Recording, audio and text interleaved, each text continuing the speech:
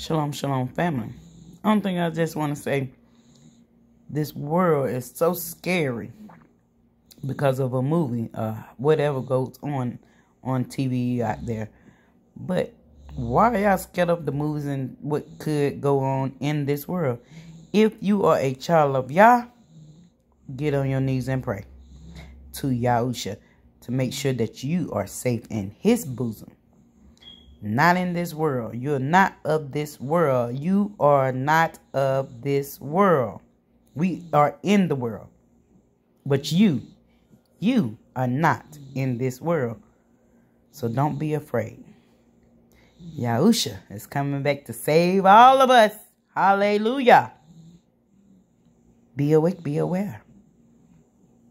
Like, subscribe, get notification to this page. Why, thank you in advance. Thumbs up, thumbs down.